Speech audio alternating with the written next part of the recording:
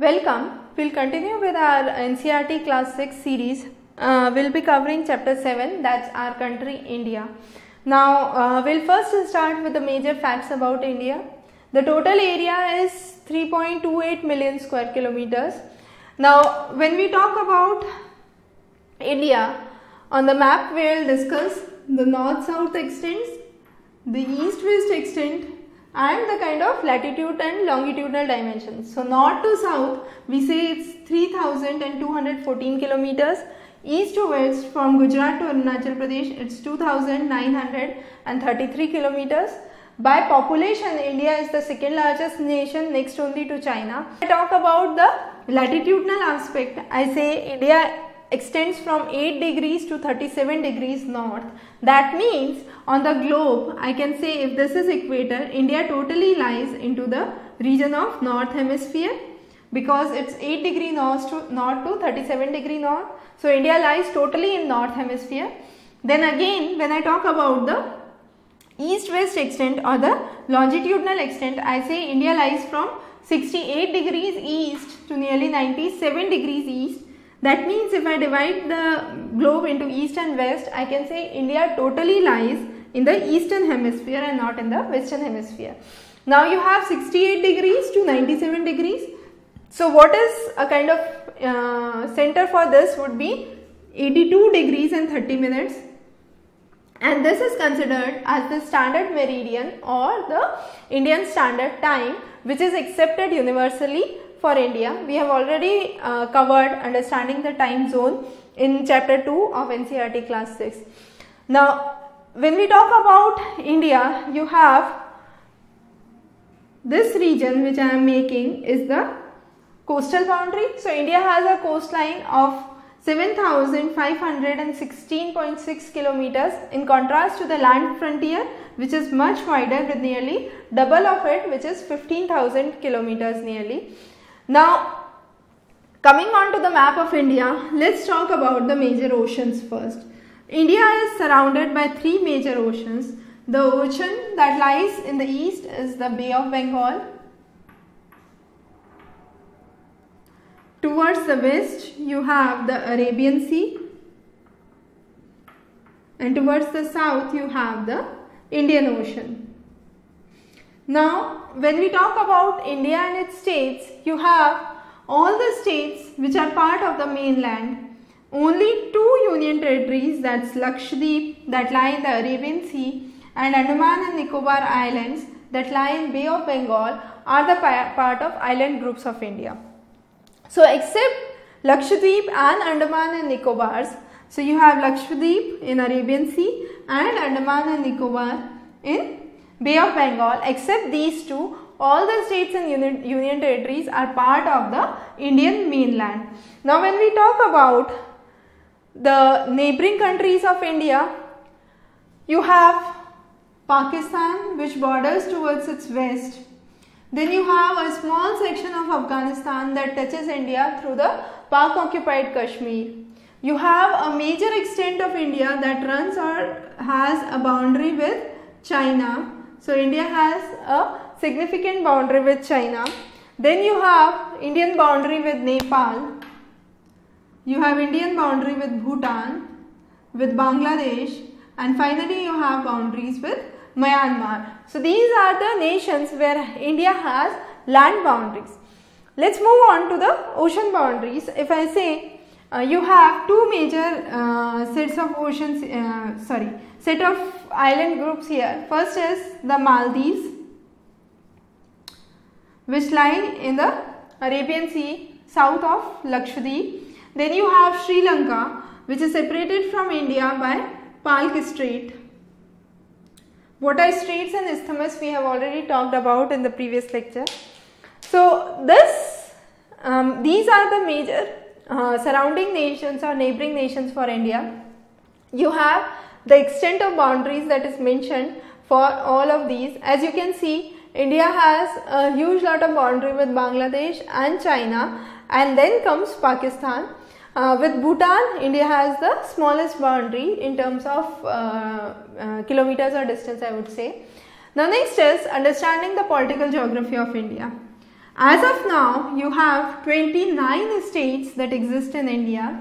The recent is 2000, you had three major states that uh, broke up. That was Chhattisgarh from Madhya Pradesh, then you had Jharkhand from Bihar, and finally you have Uttarakhand from Uttar Pradesh. So these were the three major states that separated in 2000 you had seven union territories that has that have been there from the time of independence. Rajasthan by area is the largest state and Goa by area is the smallest state. So this is the basic political idea for India. Now when we come forward to understanding the physical divisions, there is something and something that you must not miss. Uh, there are broadly I would say six divisions I could divide this into. The first is the Himalayan belt. So I can say this is the Himalayan region. Then you have the Great Indian Desert. You have Himalayas, the Great Indian Deserts, the Northern Plains. You have the peninsular area. Then you have the coastal plains so you have the coastal plains and finally you have the island groups. So 1, 2, 3, 4, 5 and 6 are the major divisions in which we can explain India. Now let's talk about Himalayas. Himalayas from the word itself it means him plus alay. So in Hindi if we consider him means snow and alay means home to. So Himalaya is home to snow as it is expressed by the name. Now Himalayas can be divided into three Greater Himalayas, Middle Himalayas and Outer Himalayas. The Outer Himalayas are known as Shivaliks, the Middle Himalayas are known as Himachal and the Greater Himalayas are known as Himadri. So you start from the topmost that is the Greater Himalayas, the Middle Himalayas and finally the Lower Himalayas. When we come on to the desert area, it's mainly the Thar desert on the western regions of Rajasthan, mainly the Jaisalmer, Jodhpur, Badmer regions. Arid, dry with uh, kind of uh, hot, uh, hot and dry weather conditions. Then you have northern plains. Northern plains include three major rivers that is Indus, Ganga and Brahmaputra and the tributaries of these three major rivers. This is considered as one of the most fertile belts of India. Coming on to the next region that is the peninsular region as you can see the shape here it's triangular in nature uh, in shape it is volcanic in nature uh, made up out of volcanic extracts. This region has been rich in minerals mainly coal and iron production. Now this is surrounded by western Ghats on west and eastern Ghats on east. Now western Ghats or Sahyadris are a continuous extension. However, eastern Ghats are broken and you have numerous gaps that exist in the eastern Ghat area. On the northern edge of uh, the northwestern edge of peninsular region you have the Aravallis that exist which are old relic mountains. Relic means they are kind of uh, degrading day by day or uh, decreasing in height in simple terms. The next is you have the coastal plains. You have the western coastal plains and the eastern coastal plains. There is again a basic difference between the coastal plains. When I say western coastal plains, they are narrow. However, so if this is the western coastal plain, this would be the eastern coastal plain. So western coastal plains are narrower. However, eastern coastal plains are broad. Now the western coastal plains you have mainly the two rivers which flow here. The two major rivers are Narmada and Tapti and they directly move into the ocean. As a result they have kind of estuaries that are formed or they drop into as estuaries. However towards the east you have few major rivers which are Mahanadi, Godavari, Krishna and Kaveri. So you have Mahanadi, Godavari, Krishna and Kaveri which flow towards the east and all of these when they are joining into the Bay of Bengal they form deltas. So all the rivers on the eastern coastal plain of India form delta when they merge to the uh, Bay of Bengal. However, towards the west they merge as estuaries uh, into the ocean areas. So this was the coastal plain and lastly you have the two island groups that is the Lakshadweep island group and the Andaman and Nicobar island group. Lakshadweep island group is mainly of coral origin. So you have mainly coral islands that are seen here. Most of it is uninhabited.